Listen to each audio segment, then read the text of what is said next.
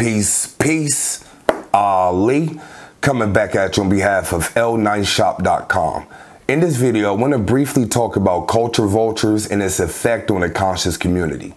All right, so if you don't know what a culture vulture is, a culture vulture is someone who intentionally comes into something that's popular and takes away from it or they try to capitalize off of it. So a culture vulture is basically an opportunist that comes in as something that's popular and tries to take away from it or take advantage of something that's already popping on popping off. Like if you look at it, when Michael Jordan with the Bulls was winning all the championships, what did that create?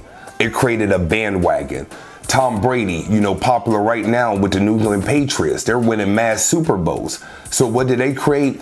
A bandwagon. Look at your favorite music groups, look at movies, look at anything that's popular. You're going to get people that jump on the bandwagon and they don't even really know what they're doing. That's not what I'm talking about as far as culture vultures. Because metaphysics nowadays, 2019, is popular based on social media, based on documentaries, based on movies, based on YouTube, is very popular now. So with that, you're gonna have people that's popping up, you know, jumping into uh, Facebook groups, jumping on YouTube, talking about their experiences, writing books, etc., etc. They aren't necessarily culture vultures, but a culture vulture is someone who has no interest in this lifestyle. They have no interest in metaphysics, the occult, or spirituality, but they see an opportunity to take advantage of people that are. So, who are these people? You can tell who they are because they weren't talking about metaphysics, they weren't living a metaphysical life, but now all of a sudden they have tarot readings that they're offering. All of a sudden, they have workshops and retreats that they're offering. All of a sudden, they have products that they're selling that relates and ties to metaphysics, the occult, or spirituality. Those are culture vultures. They're intentionally coming into a culture or a community and trying to take advantage of people. So that's what a culture vulture is, and this is how um, it relates to metaphysics. People that are coming in, taking away from what we're doing here.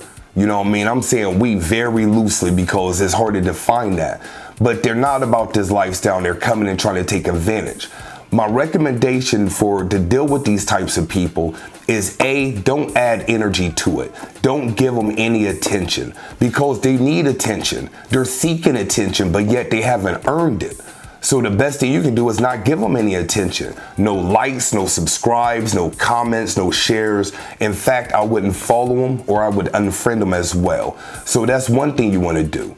Another thing that I recommend that you do is just stay in your lane and stay steadfast on your path. If you're into altar work and working with herbs, then continue to do that even if what you're doing is not quote unquote popular, it's a time and season for everything. For instance, when I first started talking about the ancestor altar, it wasn't too much information popping up about ancestor altar, working with ancestor money or Joss paper. It wasn't popular.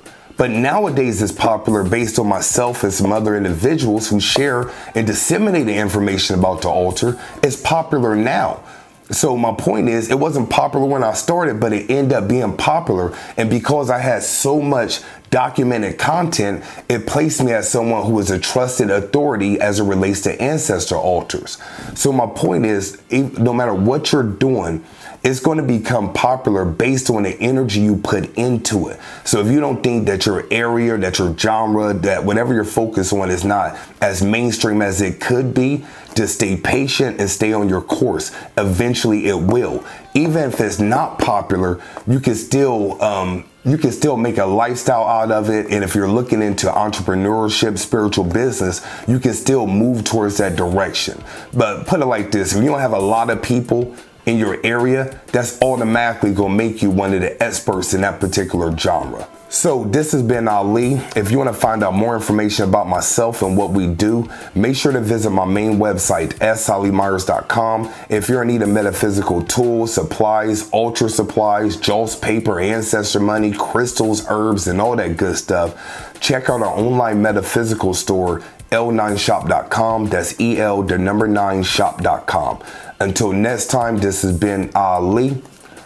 Peace.